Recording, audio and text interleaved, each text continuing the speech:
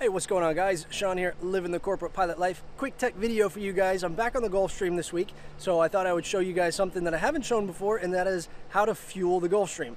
There's a few different methods of fueling the Gulfstream. We can do it over wing like a, a lot of airplanes here. In fact, let me, let me walk over here and show you the uh, over wing ports here, if I can see it. There it is. There's your over wing port.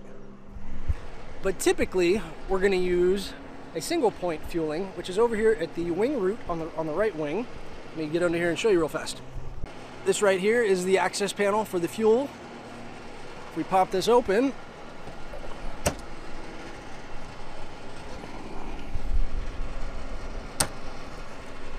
get up in there, there is the single point fueling. And all they do is they come over here and they hook up a big no hose to that and they pump fuel in there at about 50 psi we can take fuel much quicker than if we do it uh, the old-fashioned over the wing style.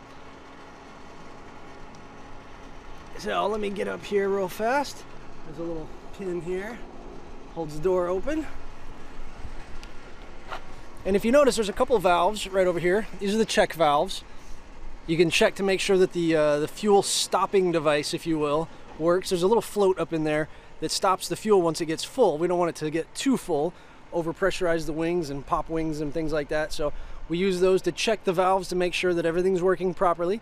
And then they just pump gas in there until it stops if we uh, want to take full fuel. Or we can tell them a specific fuel amount. Or if need be, we can just stop it from inside manually. There's a button inside that we can press and it activates those floats manually and it shuts the fuel off that way.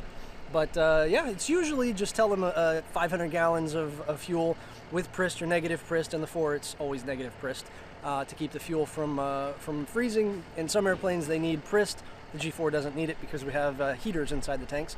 So usually, yeah, we just tell them put 400 gallons in, or 1,000 gallons, or 2,000 gallons, whatever we need. They pump it in there and stop, and that's it.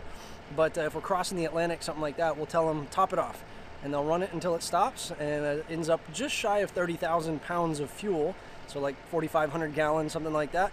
Quite a bit of gas, and we'll burn the majority of it crossing the Atlantic. So uh, get about nine hours of flight time out of that amount of fuel. So uh, yeah, that's about it. So hopefully you guys learned a little something about the G4 here. Uh, give me the thumbs up if you liked it, and we'll see you guys on the next Tech Tuesday video. See ya.